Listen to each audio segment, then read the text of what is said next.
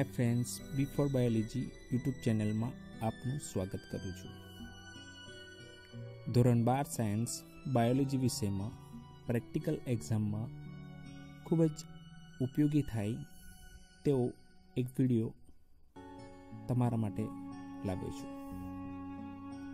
મગના અંકુરિત બીજમાં શ્વસનનો અભ્યાસ કરવો.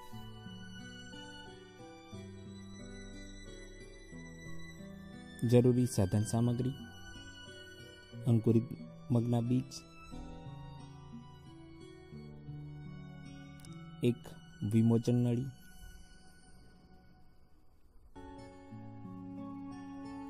એક કાણાવાળો બુચ,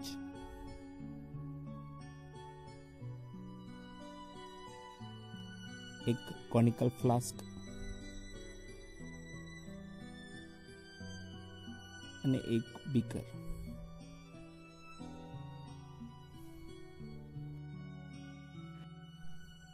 સૌપ્રથમ મગના અંકુરિત બીજ લો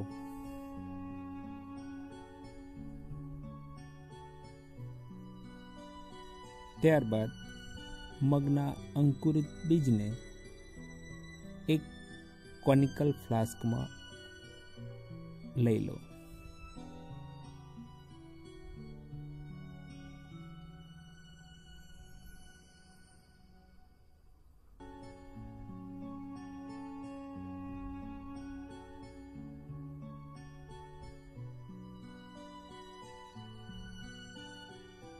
ત્યારબાદ કોનિકલ ફ્લાસ્કને સંપૂર્ણ પાણીથી ભરી દો.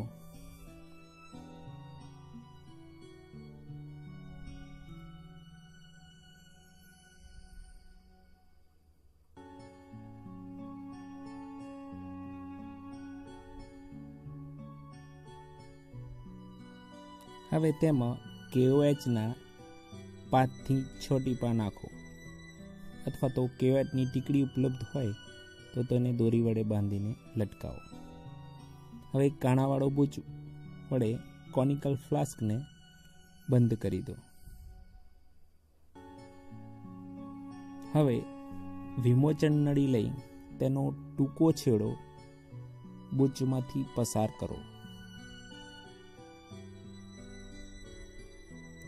હવે બીજો જે લાંબો છેડો છે તેને પાણી ભરેલા બીકરમાં ડૂબાડો.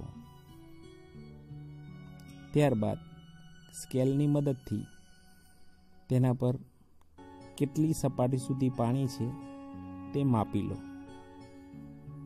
અને ત્યારબાદ તેને અવલોકન કોઠામાં નોંધી લો, એટલે કે વિમોચન નળીમાં પાણીનું પ્રારંભિક સમતલ, એક સેન્ટીમીટરમાં ધારો કે ત્રણ પોઈન્ટ પાંચ સેન્ટીમીટર છે, તો તેને નોંધી લો.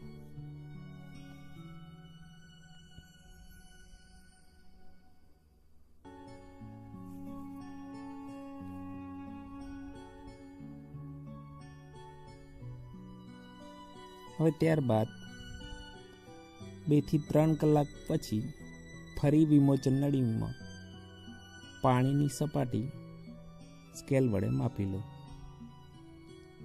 અને ત્યાર પછી અવલોકન કોઠામાં પ્રયોગને અંતે વિમોચન નળીમાં પાણીનું સમતલ વાય સેન્ટીમીટરમાં માપો.